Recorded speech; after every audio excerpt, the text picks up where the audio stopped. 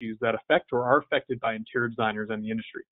That's why every other month, ASID is committed to bringing you public policy content relevant to the industry and the profession.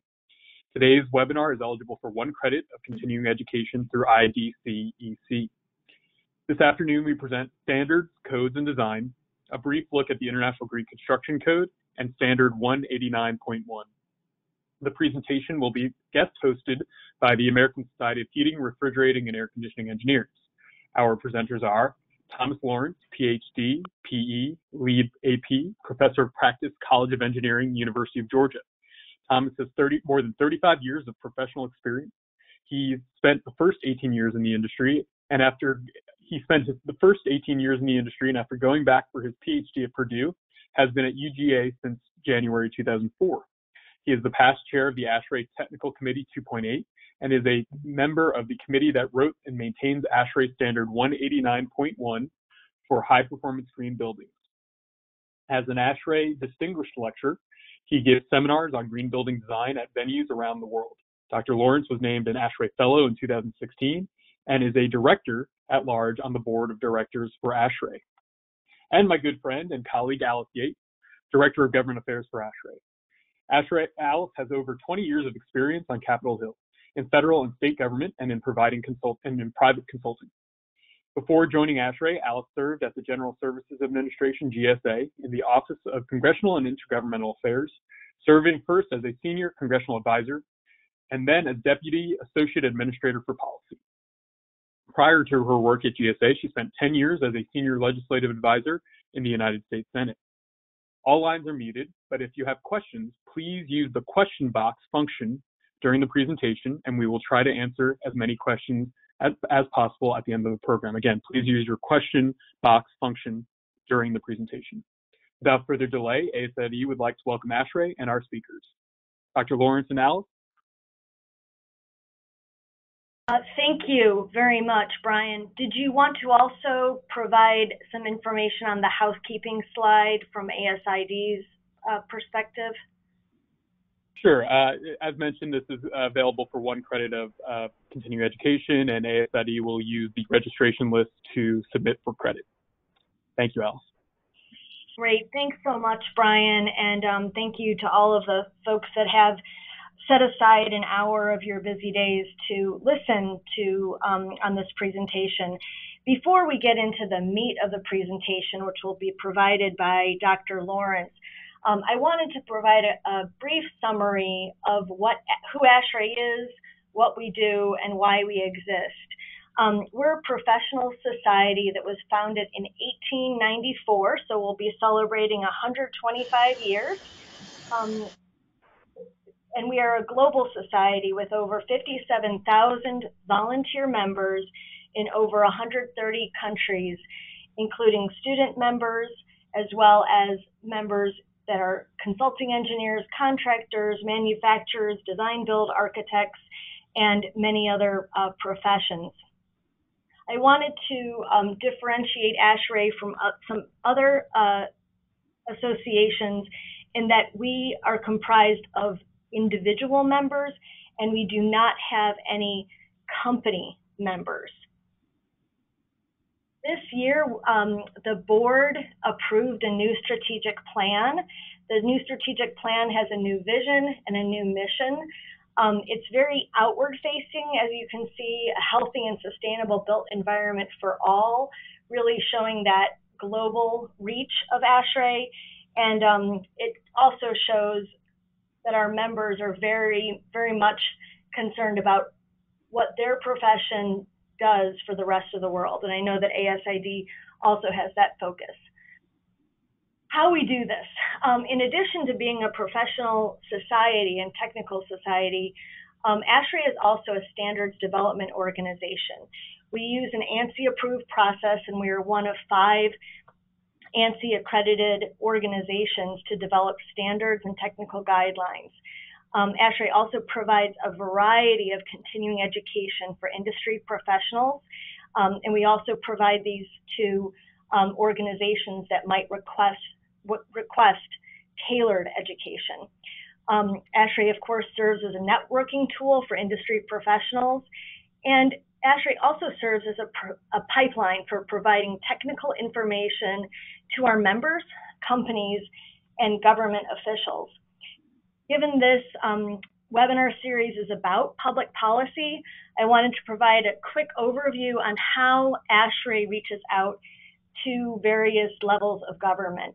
Um, ASHRAE depends on the great work of its volunteer members. We have a government affairs committee that's comprised of about 25 volunteer ASHRAE members. Um, it, it is a global committee and they coordinate with all 130 plus chapters around the world.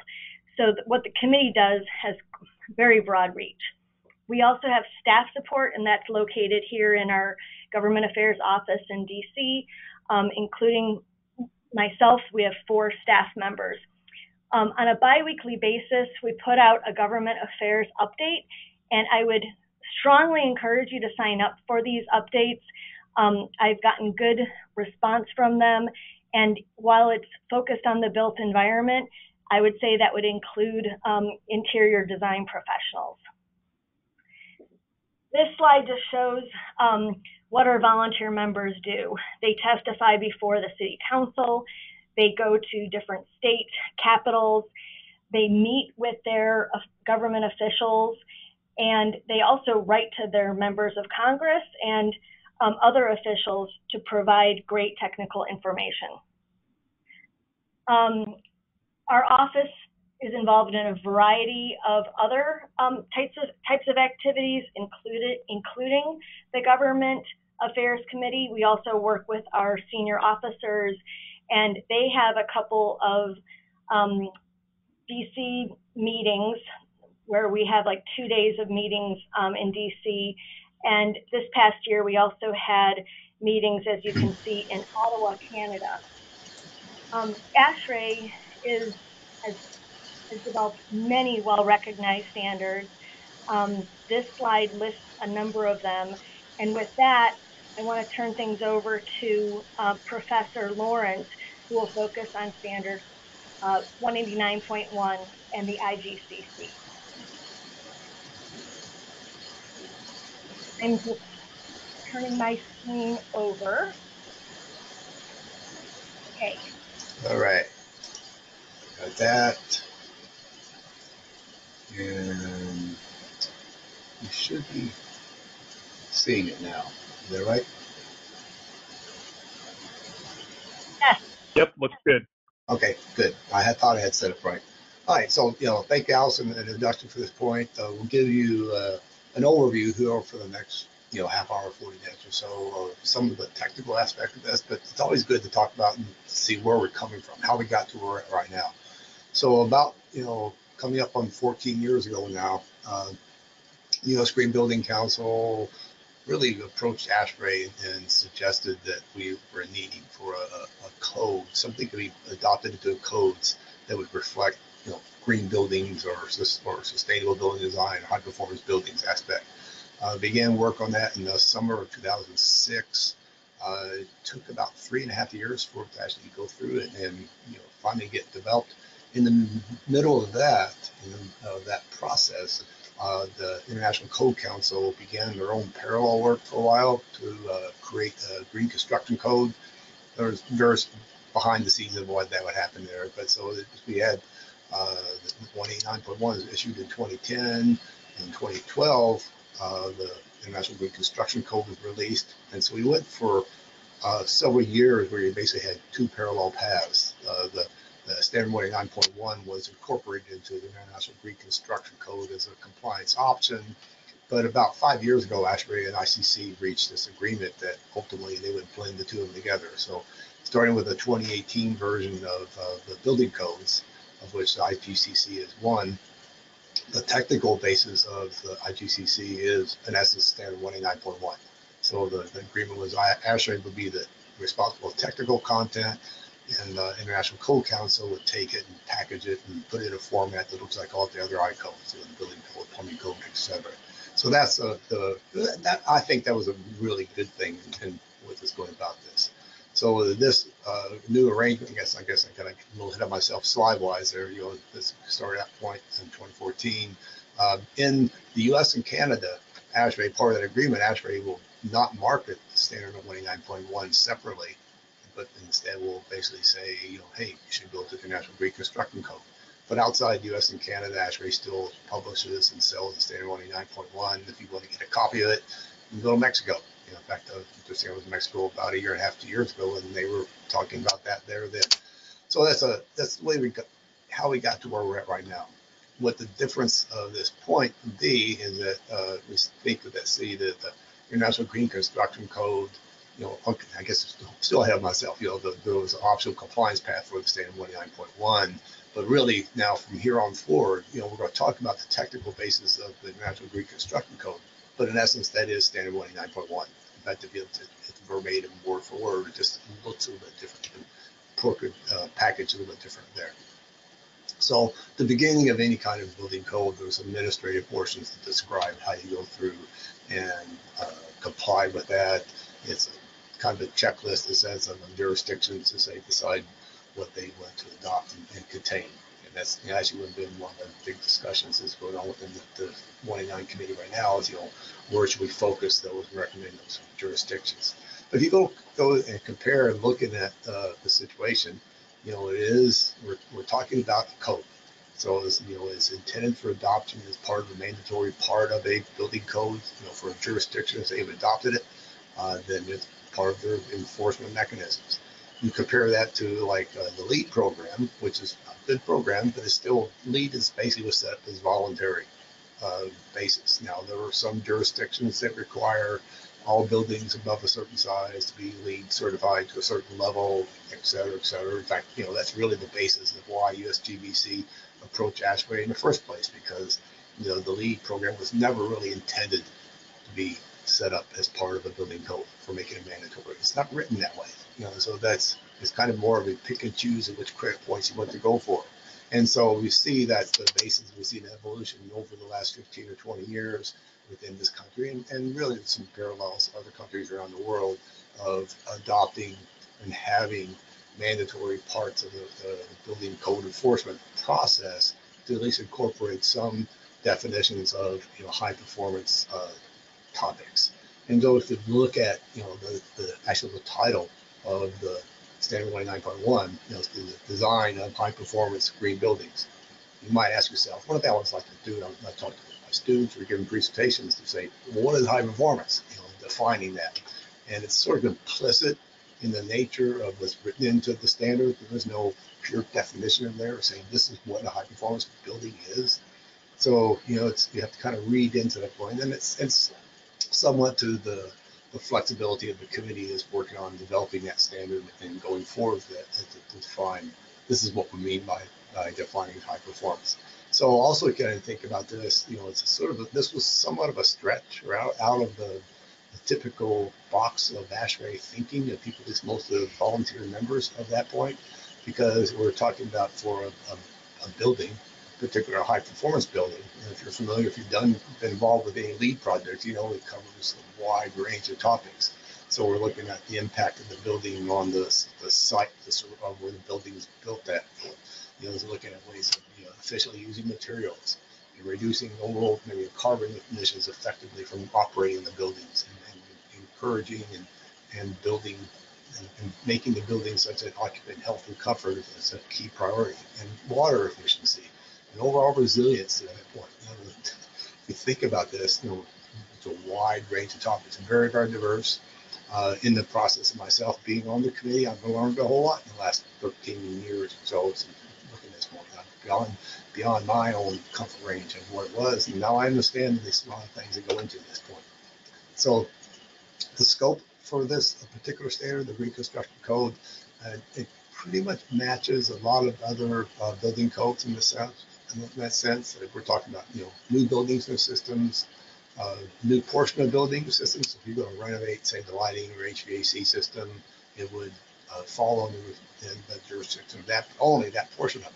If you're not making a change in, say, the windows, it's not not part of it. Uh, so that's where the new system is included there. Or you know, if going to relocate an existing building, that doesn't happen very often, but you know, have to include for that possibility. You know, it does not apply to you know single-family dwellings, you know, multifamilies, three stories or less.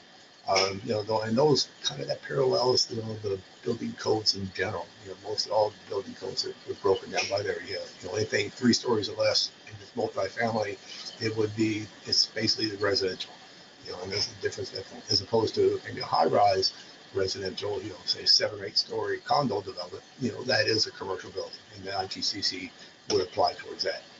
So again, because it is a uh, building code, a part of the building code process, you know, the, it's mostly written to demonstrate or show how a project team can demonstrate compliance with this code. And so with the project committee, you know, over time, looking at this and, and seeing certain parts of this certain parts of it within a certain sector, say within energy, are considered so important that every building that falls under this code has to comply with that. And then there are other items that we have that would need a prescriptive or a performance compliance path. The prescriptive path is other items that are not part of the mandatory.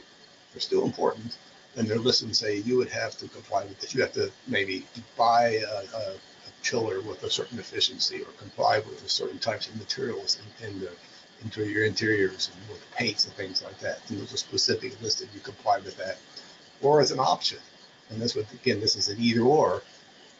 You could go through and, and you demonstrate that the performance of this building that's being proposed would meet, in essence, the, what would, would be resulting if you did comply with the prescriptive compliance path but you're doing it a different way. So that gives a, a project team an option to say some part of the, the prescriptive path that they feel either have a better idea or for whatever reason, you know, they don't want to do that specifically, but they can make up for it in other ways and end in the result being a building that's as good as had gone through the prescriptive compliance. And that's, there's uh, you know, standard 189.1 and IGCC is not the only one to do this. There's other uh, codes, processes that, that's, uh, standards out there that give an either or option to give people a choice of, of how they want to demonstrate and go through the compliance with that. Now, when I talked about a few minutes ago, said that, you know, the, this particular standard in the International Green Construction Code covers a wide range of things. In order to keep it simple and, and not reinvent the wheel, there's a lot of other standards and, and documents out there that, that, anything that's written in code type language that relates to a high performance building would be fair game for being looked at and considered by the project committee for adoption into that point. So that's just a few examples of what we have going on there. So like with an energy, you know, it's adopted effectively, know, the standard and, and the Metro Green Construction Code says you will comply with this particular standard 90.1 with respect to energy except as modified in here within this code. And using modifications in all the cases are, to make them a little bit more stringent, a little bit more um, important in, in, terms of you know, what they're trying to achieve. So like, you know, the energy efficiency for uh, IGCC is more effect, more, more efficient than it would be for the standard 90.1. All right, so if you look at, you know, the organization of, of the, of the National Pre-Construction Code, you know, there's various chapters that are listed in that point.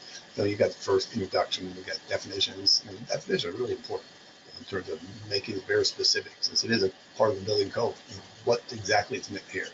And then we get in chapters five through nine that cover the, sort of the technical aspects of the sites and water and energy, the indoor environment, and the materials and resources, then the last chapter, chapter 10, that's the last technical chapter, goes through you know how you define the, the construction process for the building, and really more importantly, how you plan on operating it. And that was really something that was unique when the beginning process was started for uh, developing this particular standard because you know you can design a great building and build it, but if it's not operated properly, it's not going to perform. And so we've at least included in there in the part of the construction documents, you have plans for how this building should be operated to maintain the key uh, high performance features. One thing that's kind of important to, to set in this is that the standard 191 or the National Green Construction Codes set the level of performance or specific type of equipment requirements. But you know, as much as possible, you know, not specifying exactly how the design and implementation is done or you know, I know I can think examples whenever we look at a specific type of uh, or a performance requirement, a prescriptive requirement. Know, one question that was asked many times, especially in developing the standard, was you know, are there at least two manufacturers out there that have a product right now that can meet this? And so you don't you don't want to be uh, implementing uh, you know, inadvertently, you know, giving somebody a, a, a lock on the market or, or you know, that point. So we want to avoid that as, as much as possible in. So that would go through the next several slides, go through an overview, at least what was contained in the various uh, technical topics. And so in the site section, basically everything has now been moved into made it mandatory. There is some description of you know, where the allowable sites to build, where not to build. You know, don't build this in a floodplain or something like that. Know, it might sound simple, but you know, some areas you know maybe don't have as as a good say zoning requirements in some other aspects. But some key areas that are addressed, we have the urban heat island, so how a building can affect that. You know, cool roofs, lighter color, reflective surfaces. We're actually looking at addressing you know light exterior lighting is a pollution source. You know, to think about what the definition of pollution is, is something that enters the environment that has a negative impact. Well, we're looking at looking at in stormwater, the transportation impacts of the building, where you don't uh, protecting natural areas, and, and, some of the more recent things have been added in, like you know, electric vehicle charging stations. The standard was first was written, you know, EVs were not really didn't really exist and now you know they're becoming more and more common. So we'll redact it and, and, include that. You know, more or less go. I guess you know the site is probably the best place to fit out. Uh, water use efficiency is a very important thing that's coming about. Uh, you know, we've all seen and heard about you know, the impact of, of changing climate and, and, more likelihoods of droughts. We have more population, but we have the same amount of water, so we have to learn how to deal with this. And so the way this standard uh, and the code addresses that. Uh, talks about how they do with like you know uh, landscape irrigation, and hopefully we have a slide showing that was addressed inside the building. You know, it just specifies or mandates that you have efficient, efficient plumbing fixtures, you know, the low flow type uh, uh, fixtures, so you have a specific limited amount at that point. You know, actually the definition of US EPA has what they call the WaterSense program that defines it's kind of like Energy Star you know, but it's also mostly focused on, on water efficiency. And, you know, if a manufacturer makes a product that can meet that particular standard in terms of, you know, a, a certain flow rate or a certain gallons per use or something like that, you know, then they're allowed to put that WaterSense label in there. And I've actually seen a few places in more like public restrooms and airports or something like that where they've actually seen that water WaterSense label there. So I, I know it's beginning to have some impact around within the industry and going forward. So look at HVAC systems and equipment. Uh, you know, look at water efficiency, uh, cooling towers. You know, are, are, big use of water, uh, water within you know a, a, campus or buildings or an individual building. You know, like on our campus. You know, you might have saw that slide a few slides there ago. We had a severe drought about 12 years ago. So we looked at review that 22% of the water consumed on my campus was in cooling towers. And so if you could define an efficient way for doing that. You know, we have specific provisions for what that would be. maybe not as important for you all to get back and look at the sense of trying to minimize, you know, the water consumption, the makeup water that goes into, into cooling towers. Because a lot of water is evaporating from that process. We're also looking at, you know, collecting the condensate from air handling units in, you know, more damp climates. You know, I certainly where I live at would fit into that point right there. So you're actually collecting that condensate you, know, you can use it for makeup water in cooling tower, or you can use it for irrigation, various purposes you do. You're just basically trying to minimize how much, instead of sending it down to the sewer and wasting it, basically, using it to minimize the potable water that's actually used on in the building site. And look at with energy right here, and this you know, we have just kind of put in perspective. This gives you uh, an idea of the efficiency level, the efficiency gains we, have seen within the industry. And I don't want to go through all the details on this, but just just just accept the fact that the numbers on there rep- represent a an average value for how much energy is being consumed per square foot per year within within a building. And this, okay, so we had a existing building survey was done 16 years ago by the U.S. Department of Energy, and this, so it resulted in 90. And then, you know, so people have looked at, you know, well, if we could rebuild everything with the newer building codes, it's back in the middle part of last decade, yeah, that could be 70 or 80. But we have, we've seen over the last 10 or 20 years a strong push towards setting the standards and codes you know, to make it more efficient. And so if we could go through right now and with the standard 189.1, which represents the IGCC, and rebuild every building per that standard. I know it's not possible, but say, you know, hypothetically do. There was actually an energy modeling studies done. You know, that 90 could have been turned down to 43, so basically less than half. And then we've had some studies gone through, well, how low can we go by just the maximum efficiency? And then kind of looking at, you know, about 40 or so. So we're almost there in terms of defining it to the maximum level of efficiency where we, where we can be. Now we go through and look at uh, the different compliance paths with for energy, you know, the mandatory portions that are on there. Uh, some on-site renewables, measuring where energy is going, and the newer one that's been added for doing automated demand response. And then we have a lot of items that get addressed uh, through the prescriptive option going through there. And I'll, I'll kind of cover fairly quickly each one of those. Uh, well, I guess we're not, you know, I guess don't have, I don't have the details on there. I of forgot what I have on that point. So if you look at there, so one, I guess I'm back on this slide, you know, point out, I guess the on-site renewable, you know, that was a, was a key part of what the, the discussions were going on. You know, should we mandate that every building that's complying with this have to have some on-site renewable energy system? You know, there's a lot of debate back and forth. We settled on uh, you have the mandatory part. You have to be what you might call renewable ready. You have to be able to easily install it later on sometime in the future. You have to structurally allow for the, on the roof if you want to support, uh, say, solar panels, uh, maybe include wiring chases, etc., to make it ready so you can do so. And then in the prescriptive option, it actually included a uh, section where it says, okay, well, you go ahead and install that. And there's also an exemption for if you're in a area that has low solar intensity say the Pacific Northwest or around the Great Lakes region, where you know solar isn't as, as good of a resource as would be in you know Georgia or Arizona, then you would go through and, and be exempted from doing at least installing that. I just was pointing that one out. There's a lot of other issues right there, but they kind of get into more of the technical details, stuff that ASHRAE does, and I can do at that point. But maybe it's not as much as the, the membership that's on this call here today would be quite as interested in going through. So the performance on base option is kind of interesting to point this out. You know, so there we had all those items that were in the in the prescriptive part of it. But you know, I can see many buildings, you know, say they did not want to uh, install the renewable, but they have to go through and actually meet now at least a performance target of what they would be. And it used to be that basically was saying, you know, you build a building, meet the same level of performance of the prescriptive path.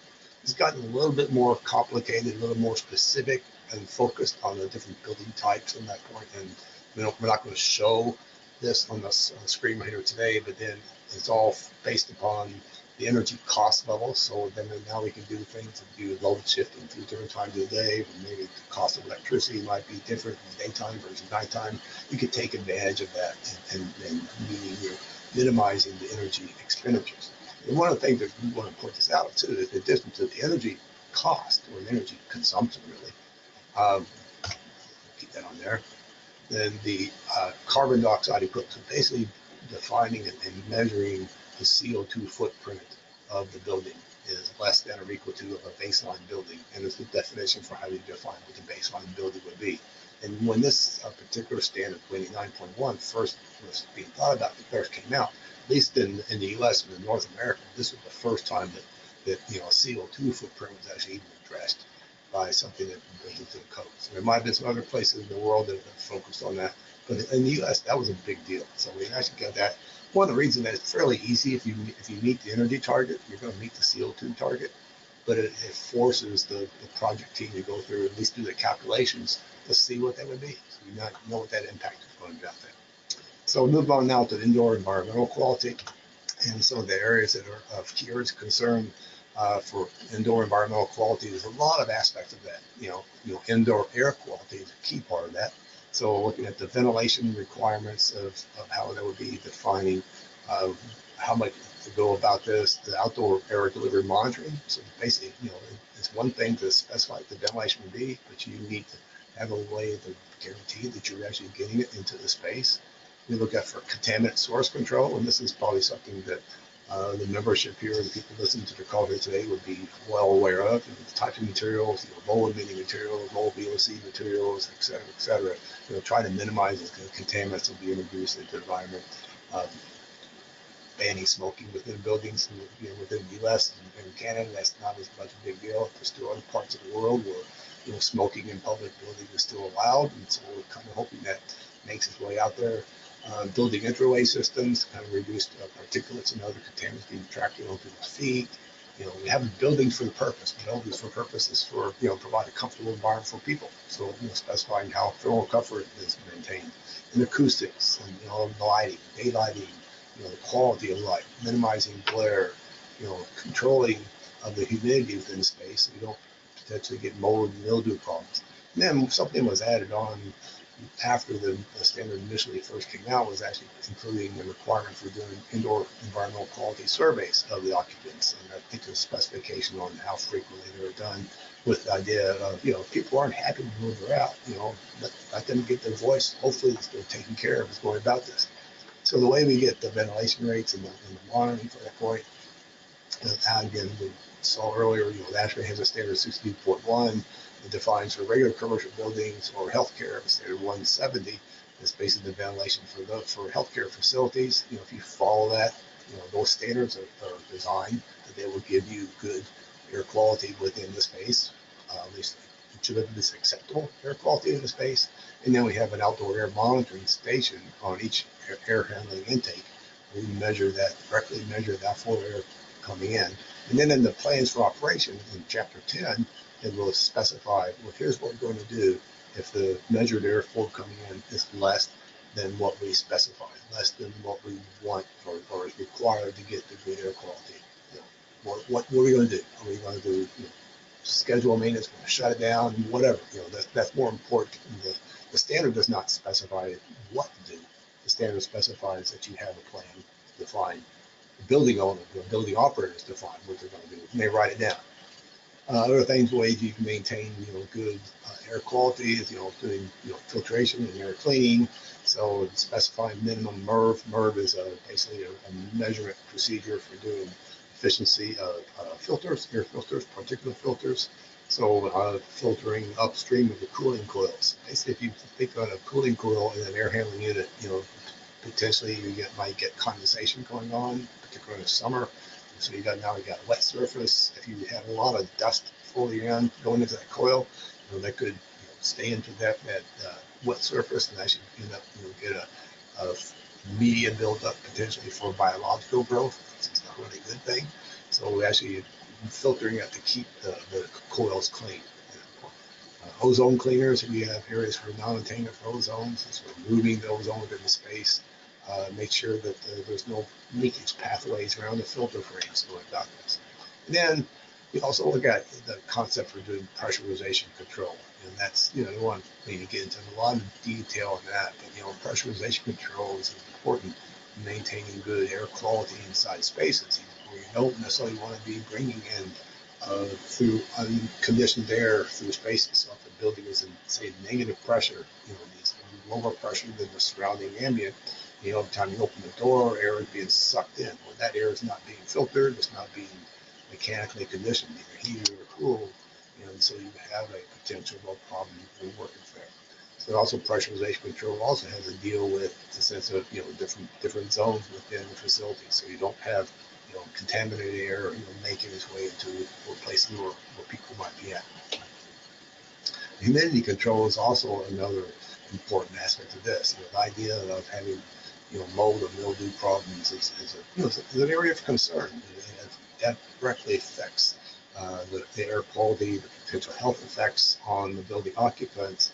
And so we include uh, requirements in here of defining, you know, making sure that in zone, the, the zones with the climate zones listed right here, uh, zero, one, two, three, and four, but basically in the, the more warmer climates, climate zone zero is actually like Hong Kong, something like that. Climate zone one would be Miami, two would be uh, Dallas, Texas, three is, is uh, North Georgia where I live at, four would be like the DC area. You know, so it kind of gives a perspective of where we're at from there. You know, so we have the dehumidification potential, so it specifies on there that you have the cooling coil leaving temperatures are cold enough that you would get the moisture out of the air, you know, condensation has occurred on those cooling coils, and, and, and you've got at least some humidity removal from the space. You know, if you think about that, you know, from an air conditioning building, you, don't like it to have it, you know, a lot of humidity. It makes it, you know, not only more uncomfortable for the occupants, but also leads into the potential for, you know, mold and mildew issues might, might to occur in certain spots. So another way you can go through and look at in the spaces, you know, we, we, for an energy efficiency standpoint, allow for, you know, building systems to be turned off when it's not an occupied mode. Imagine a you know, hotel guest room, nobody is checked in yet. You know, they don't really need to have outdoor air, you know, ventilation here into that space. Or an office building, you know, two o'clock in the morning it's in unoccupied mode. But you know, you want to go through, and as we shown here, the preoccupancy purge, you actually turn the system on for a minimum amount of time before the place is scheduled for occupancy, such that you, you flush it out. You get, you know, the fresh air in, into the space and you don't have, you know, maybe air that's been sitting around for a while that might potentially have some contaminants built into that point. So that's, you know, definition of, of what the, both hotel guest rooms and also for uh, other types of spaces in there moisture control. You know, there's a vapor trends. You know, surprisingly not, the, the moisture can you know, actually migrate through the uh, water vapor can migrate through uh, building uh, envelopes, and you know we can actually get you know, moisture migrating through. Potentially, at sometimes you could get some issues associated with you know, condensation occurring, like speaking of wintertime and, and, and humidity moisture from the outside migrating through, or migrating from the outside out. Uh, you might hit a point where it actually gets condenses and inside the space or inside that wall and, and leading to uh, serious potential uh, material failures on that point. And also looking at areas that are sources of moisture, kitchens and pools and locker rooms at that point. You know, those are key things to concern with. And then the museum spaces, you know, they're not necessarily uh, sourcing of moisture. But in a museum, you're really concerned in, many cases about you know, maintaining humidity within a certain conditions so you don't mess up uh, the artwork or whatever is being displayed there. And so, you know, you find ways of going through sealing around things, make sure that the, the mechanical systems can maintain the humidity levels within as within the space as required for its purpose use. A few other things that involve from the prescriptive option that we have going forward, you looking at minimizing, or not minimizing, increasing the amount of uh, daylight that comes to the space. You know, people like to have natural daylighting in the space. Some people like to would just prefer to have that within their office environment. You also have to worry about glare. It might be so you know shading of the direct sunlight on somebody's computer screen is a way of avoiding that. And also we have you know the prescriptive option defines a whole list of you know low emitting materials, materials that have a lower impact on the indoor air quality, you know, there. And, it's, and if, the way I can imagine is if you're familiar with how the LEED program specifies, you know, like low VOC paints, et cetera, et cetera, pretty much the, the, those exact same level uh, criteria are written into the, International Green Construction Code. They're not exactly the same point, but I know the know, for, for a fact that when uh, the standard was being, initial standard was being written and going through and doing, you looked at what LEED did and, you know, pretty much, you know, took it as a, a good starting point to work for. In some cases, little more uh, uh, extensive than what LEED might do at that point. Then we also, again, just like in this particular topic, we had an idea of performance options. So you would do daylighting simulation to verify that you get adequate daylighting. So go back on here, you know, these are prescriptive parts and it defines specific things you do for doing, uh, getting daylighting and lower materials. But, you know, performance is a, is a parallel path or an optional path for doing so. You know, actually we do you know, daylighting simulation, we do lighting for presentation modes materials emissions. There's a whole uh, process to go through and you calculate what that would be. Personal opinion, those are all those are fairly complicated compared to just doing the prescriptive, but you know, it does give an option for somebody to go through and do. So the daylighting simulation would specify, according to the following protocol, you're making sure you have a certain amount of daylight on certain parts of the space, minimum daylight light daylight levels, uh, also minimizing the direct sun on, on office workspaces. And that picture shown right in here is actually an output of the daylight simulation model, so you kind of see where the light levels would be within that particular space, taking out office and stuff like that, you know, materials in there, but get a value of what that would be. The same with materials, there's, there's a standard that defines, uh, go through and, and, and summing up all the potential sources of emissions from all the materials within the space to making sure that you know, the VOC levels do not exceed a certain value specified by a, a California standard that's not there. And it's fairly rigorous and, and, and, detailed process, but again, it's a way to at least predict that you know this space is going to maintain a, clean indoor environment. Uh, now we go to the last tactical section section in here. The dive is uh, building materials and resources.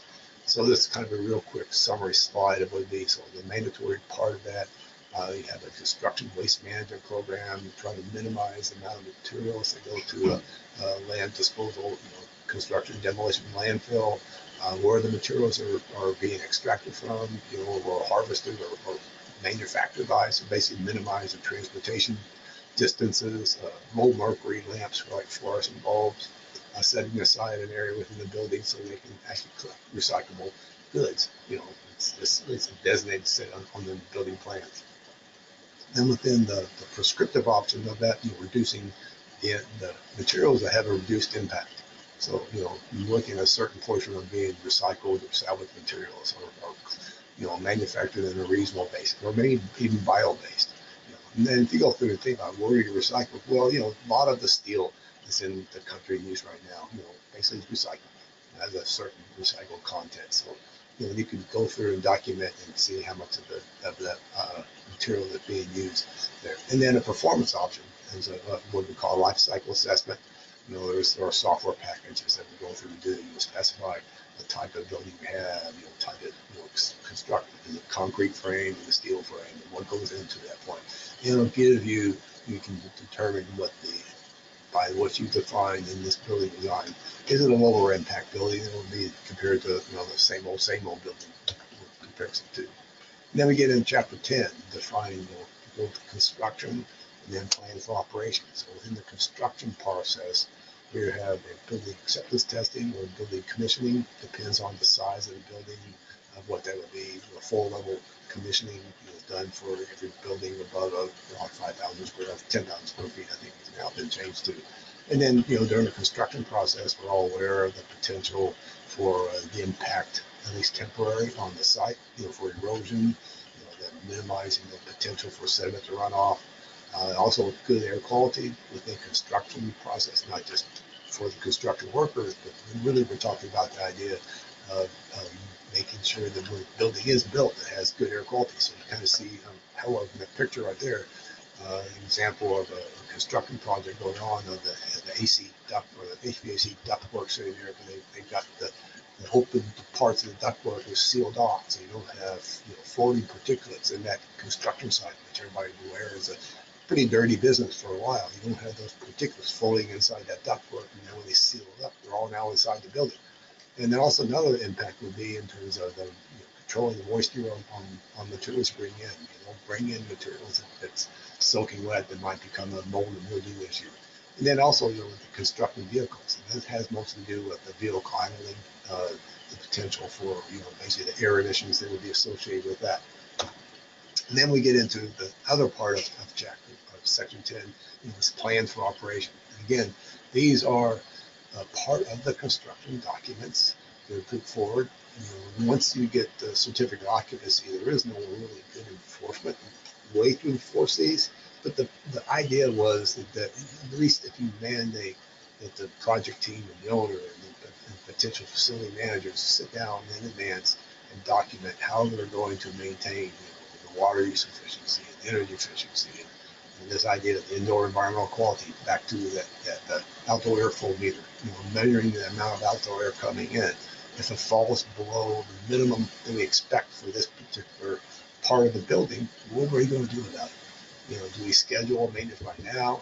We go back out and look at it, we flag it, and the next time, you know, the building operator is out walking around and try to check to see, you know, if there's duct damper, bunch of leaves sucked into the grate or something like that, block, block the airflow then also has things for doing, you know, um, maintenance, you know, within there defines that point. You know, we adapt, you know, basically uh, good practices for doing maintenance on HVAC systems, uh, the service life of the building. There may be certain parts of the building that, you know, 20 years later, the manufacturer, that part of the being part of the building envelope, recommends that you do X type of service for that to maintain its level of quality. Okay, well, 20 years from now, they need to know that. So that's documented down there. So hopefully, you know, 20 years later, the whoever's operating and, and maintaining that building will take, take part of it. Then the last thing kind of point out here is how we have the transportation management.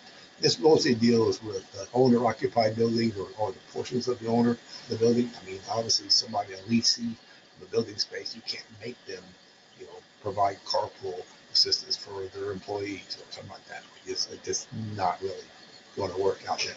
But if it's a you know owner occupied building, well, we go through and define a plan for how we're going to minimize the transportation impact of people and employees coming to work that day.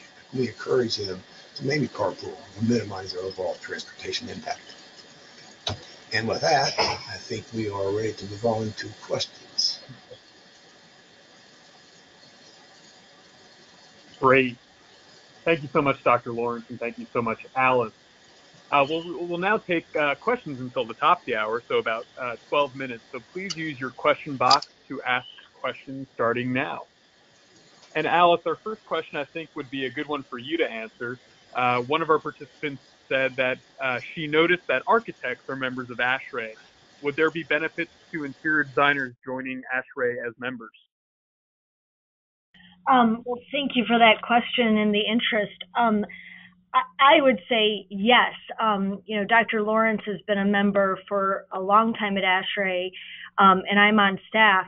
But ASHRAE has so many different um, opportunities from education, networking, our conferences, our chapters. Um, so, and you could always, you know, uh, just I'd be happy to introduce you to like a chapter president or our, our chapter chair of our GAC just to chat with somebody. But um, I would say yes. In particular, ASHRAE has um, expanded its reach in terms of working with other societies. We have a memorandum of understanding with a variety of organizations, including the AIA. Um, don't, we don't have one yet with the ASID, but um, we have uh, a memorandum of, of understanding with um, BOMA, the Building Owners Managers Association, with IFMA, with some uh, federal agencies. So I think what that shows is ASHRAE is comprised of a whole lot of different types of people. We do have some requirements for membership, and I will send those to you, Brian, Brian, um, so that you can forward that to whomever has that specific question. And maybe right, also, I could, you, I, could, I could expand on that a little bit, just, just sort of more of a just an anecdote, I guess, because we were talking about before the, the seminar started. You know, I, I ASHRAE, because it now is the recognized you know, society expert, for one of a better word, the, the defining, you know, like a green construction code you know, it's now it has a wider reach of, of the topics that are that the society works and covers.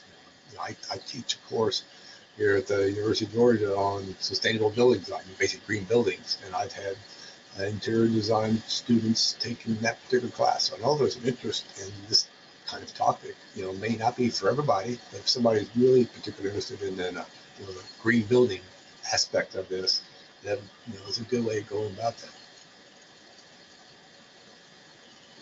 Well, thank you both. And yes, uh, we've actually had some people chime in in the question box saying that they would also like that information, Alice. So that's great. And, and yes, let's please let's let's follow up about an MOU. I think that would be beneficial for both organizations. Um, so thank you both. Um, the next question, I suppose, could be answered by either one of you. Um, what goes into an ANSI accredited process, and can you please talk more about how to get involved in the development of the IGCC and Standard 189.1? Uh, um, let me handle that, you? I, I don't, I, well, I, um, I'd be happy to, to start because um, I can talk in kind of layman's language. Um, ANSI, the ANSI accredited process means that we have a consensus process and it, a, it has balanced representation.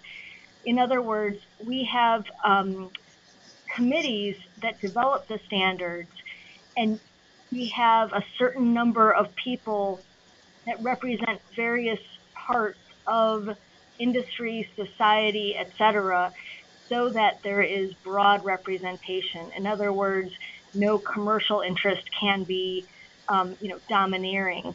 Um, importantly, you do not have to be a member to uh, serve on any of those committees. The whole idea is that the committees are open, um, transparent, and all of the comments that come in, anybody can comment on our standards. It's all open, and we are required to respond to all of those comments. Um, I, I, don't know if you want to add anything, um, Dr. Lawrence, but it's oh, a very, that's, that's a it's very good. rigorous, yeah. very open, transparent, balanced. Yeah, I mean, you know, it's a very specified process that has to go through. You go out for public comments on the change, and you get the comments back, and you respond to the comments, and then they can respond if they're resolved or not, or they can still argue and be unresolved. And then, you know, that's a it is a fairly rigorous process, but that that the purpose of that is to guarantee that everybody's had a chance to say. It's not unanimous, but it's a consensus base that you know, as a group, we agree this is what's good way to get involved in that, I have to go back and look, but you know, I think there's maybe else we can put them in contact with uh, the Standard 189 uh, project committee. There's a standing special project committee that goes through and does the, the actual process. You could be a voting or a non-voting member. Uh, the only difference between those two is that you know the non-voting member can maybe go there. You can get uh, volunteer for one of the working groups. I could see, you know, people from on this call right here might be very much interested in, say, the materials or the indoor environmental quality uh, working groups. And you know, those groups are defining, looking at addenda that would go to the standard that would be in the process of, going to the next round of the code cycles. Um, either you or I, I'm, I'm, I'm on this the SSPC, but we can provide, you know, maybe uh, maybe forward on to uh, you know your, your leadership here, and they can by the way, at least getting the name of the, of the committee chair, because I, I believe it's, it's like an application type process. Uh, and I'm not sure, I haven't, you know, I haven't had to do this for 15 years, so I've been involved in it from the beginning. So I don't know what the process is anymore. And also, Thank I you. might want to add that uh, our winter conference is coming up um, it's uh, February 1 through 5, I believe, in Orlando, Florida, um, in, in, February of 2020. And the committee will meet at that time, and I'll also provide that information as well. Right. That'd be mostly probably that Tuesday and Wednesday of that week. So it'll be like the 4th and 5th. Great. Thank you both. Yes, we do have a Codes and Standards Committee. It's relatively new. We uh, restarted it last year after several years of not having a codes and standards committee, and that committee has been um, influential in the ICC process. We have uh, members serving on NFPA committees. Uh, we'd love to work with you and, and provide our expertise as designers uh, to the uh, to the IGCC 189 process as well. So yes, please provide that information. We'd very much appreciate it. And and I think we'll have time for one more question here. And uh, if you haven't had your question answered, please send them to me. I can send them on to uh, to Alice and Dr. Lawrence. But um, for both of you, or, or perhaps uh, Dr. Lawrence, you'd probably have a better idea about this. Do you notice a preference preference amongst design and project teams of prescription or performance based based pathways using one of those? Yeah, that's a good question, and you know, like I tell people, I uh, I think it really depends on the topic. And like I kind of maybe alluded to a little bit in say with regard to energy, uh, I could see being a preference to going to the performance path, although it does involve like doing the energy model, but it gives them more flexibility.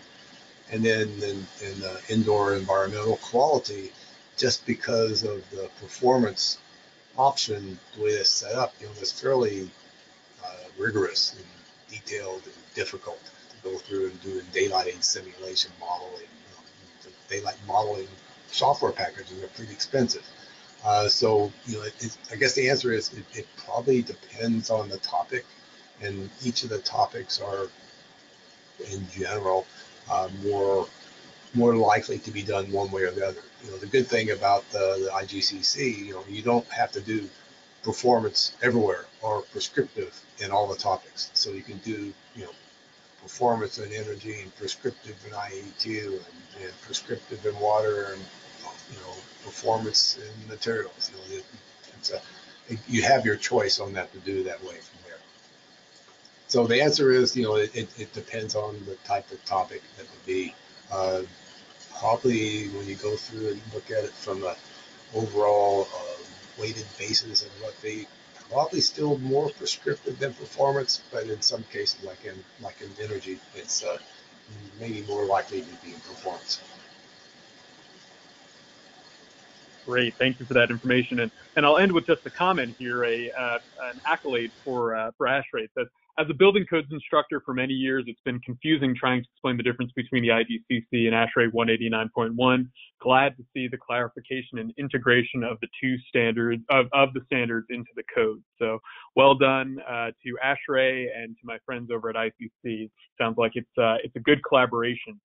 Um, so we're almost at the top of the hour here, so that will conclude today's session. Thank you to Dr. Lawrence and Alice and ASHRAE for hosting today's wonderful program. We look forward to hosting all of you on our next joint profession-wide public policy webinar in January, where ASID's Codes and Standards Committee will update you on their work. Additionally, on December 11th from 2 to 3 p.m. Eastern Time, ASID and IIDA will jointly host our next advocacy training webinar at 2 p.m. Eastern. All are welcome, so please stay tuned to your emails for, for further details. We hope you enjoyed today's session and that you'll tell your colleagues and chapter members about these webinars. And as always, for up to up to the minute advocacy and public policy information and updates, join our Phone2Action alert system by texting the term interior design. Again, that's interior design to the number 52886. That's interior design to the number 52886. Thank you so much to ASHRAE and have a wonderful day, everybody. Thank you. Thank you.